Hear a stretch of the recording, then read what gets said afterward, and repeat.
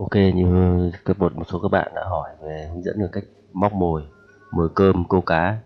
Rìa à? thì hôm nay mình sẽ hướng dẫn các bạn về luồn nút thắt đơn giản nhé bạn gấp đôi thì một đoạn một các bạn luồn các bạn thắt thắt cái nút thứ hai, bên trên đầu lưỡi ờ, ngang móc vào một chút để móc cơm mà nó giữ nằm bên trên. Chứ thấp quá, nó dưới lưỡi là nó không ăn đâu.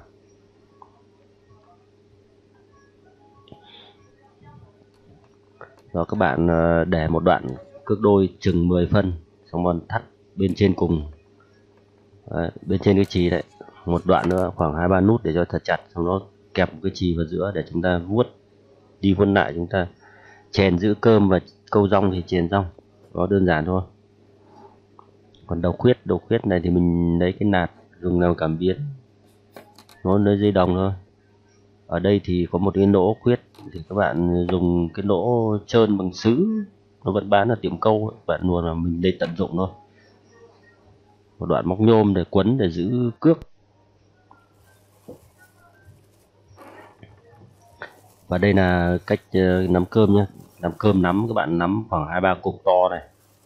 Vứt xuống bãi, khoảng 2 đến 3 ngày cho nó ăn quen thì các bạn bắt đầu thả câu. Hoặc nếu mà có nhiều cá rìa thì thả hôm trước hôm sau câu được hắn ngay. Và chúng ta lấy, chúng ta lấy một ít cơm bằng khoảng đầu ngón chân cái thôi. Đầu ngón chân cái nhé.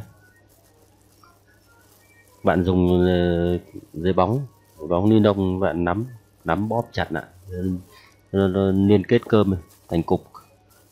Và sau đó thì các bạn để tránh dính tay thì các bạn dùng một cái rẻ dấp nước. Trước khi nắm thì chúng ta dấp tay vào nước nó không dính vào tay. Chúng ta ép chặt thật lại tròn.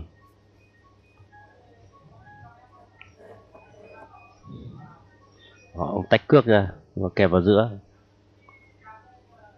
Kẹp vào giữa chúng ta vuốt chì xuống thắt chúng ta ép lại. Ép cho dao cước nó chìm vào nó gần nằm bên trong giữa một chút để nó tránh nó bị trôi mồi ra và nó tụt mất mồi. Đó, đó. Đấy, các bạn nhìn chiều cao nhé chiều cao cái nút trên chỗ phần lưỡi bằng hoặc là cao hơn một chút thôi.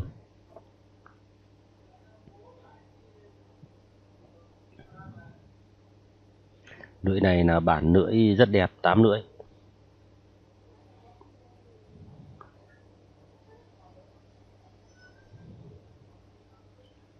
Tám lưỡi mà bằng ờ, lốc luôn. Đó các bạn nhìn ờ, đó, cách mới mồi.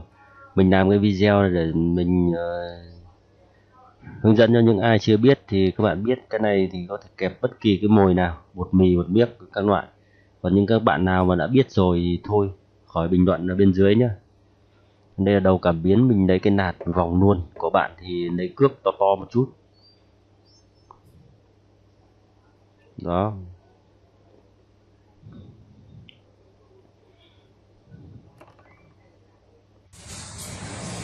Đây là mình đã thả câu chứ thả câu thì cho xem luôn cái chiều dài của cần. Chiều dài cần này khoảng 80 phân thôi.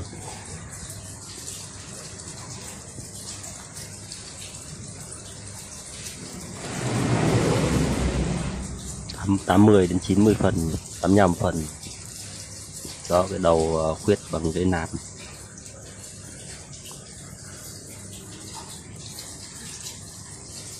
ở trên này mình có quấn thêm một đoạn nhôm để khi chúng ta thôi những câu ấy, thì chúng ta quận lại. Cho nó nhanh quận lại nó ghim vào đây chứ không kỳ ghim vào cái vòng quấn hết vào vòng tròn thì nó nhỏ nó lâu. Đấy khoảng cách này. Chỗ này khoảng ờ, 28 phân. 28 phân thì mình buộc cái cái cái chỗ quấn cước này.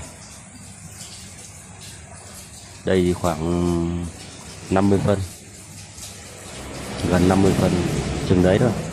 Đó, thì cá cắn thì nó rung rung dùng cái đầu chúng ta giật. Rung nhịp đều nha. Ok.